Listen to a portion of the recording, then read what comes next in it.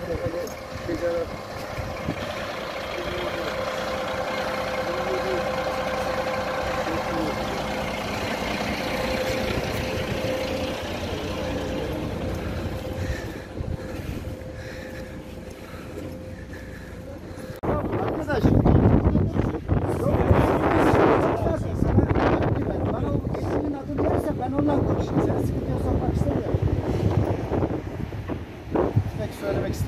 Ya bu da herhalde gizlenen bir durum var. Yani ben kime sorsam bir şey söylemiyorum. Yani buradaki şoförlerin bir kısmı Ordu Büyükşehir'de çalışan e, şoförlermiş. O zaman Ordu Büyükşehir'in bu işin içinde olduğu net bir şekilde anlaşılıyor. Çünkü Ordu Büyükşehir'in şoförleri var burada ve Ordu Büyükşehir'in logosu var. Gel böyle gel gel gel.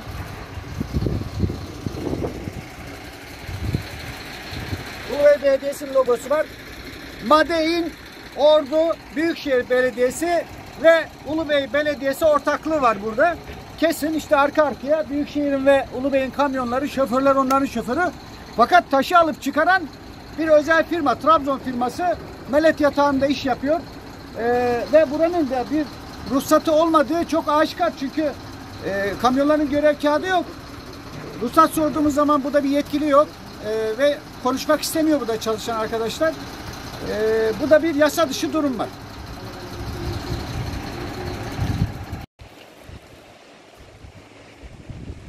Ulubey Güvenyurt mahallesinde ee, dere yatağının hemen içerisinde bir taş ocağı. Bu Mesudiye dere yolunun da hemen dibi. Şuradan bakalım şöyle. Hemen yolun altından malzeme alacak şekilde. Buranın ruhsatının olmadığına dair e, bilgi geldi. Biz de yerinde incelemeye geldik. Burada çalışan şoförler ve kamyonlar var. Bunlar e, işbaşı çalışıyorlar. Yani e, bir görev kağıtları falan da yok sorduğumuzda. Ancak belediyelerin kamyonlarının üzerinde belediye Büyükşehir Belediyesi'nin logosu var. O yapıştırılmış. Bir özel firmanın buradan taş çıkarttığı söyleniyor. Dere yatağını da e, bozmuşlar. Buranın ruhsatının olmadığı bilgisi var. E, buradaki vatandaşlara sorduğumuz zaman biz burada kiminle görüşeceğiz? Burada bir yetkili yok. E, bir şantiye yetkilisi de yok. Şantiye yetkilisinin Ulubey Belediye Başkanı İsa Türkcan olduğu söyleniyor.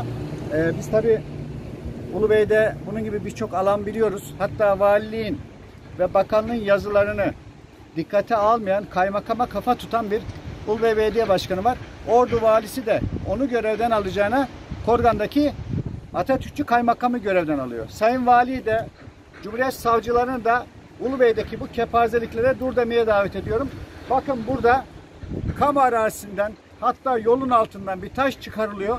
Ruhsatı olmadığı söyleniyor. Ve bu ruhsatsız yapılması şu demektir. Hem burada bir çevreyle ilgili e, bir katliam olduğunda kontrolcü bir şekilde yapılıyor demektir. İkincisi de ruhsatsız bir alandan çıkarılan taşın karşılığında meblağının finansmanının da kayıtlara girmemesi birilerinin cebine direkt gitmesi anlamına gelir. Her iki konuda da muhakkak Cumhuriyet Savcılarını ve yetkili yerel makamları Ordu Valiliğine göreve davet ediyor.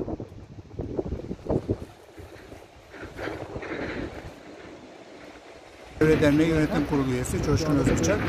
Ee, buradan e, bir e, şikayet e, geldi. Vekilimle beraber dernek olarak buraya geldik inceleme yapmaya. Ee, en önemli dikkatimizi çeken özellik e, şantiyenin girişinde herhangi bir tabelanın olmaması. Kim yapıyor? Ee, yüklenici firma kim? İşlem ne zaman bitecek? Herhangi bir bilgi yok. Kamyonlar gelip mal götürüyor. Yani fiili bir durum yaratılmış. Ee, yasal olmadığını düşünüyoruz. Bunun takipçisi olacağız.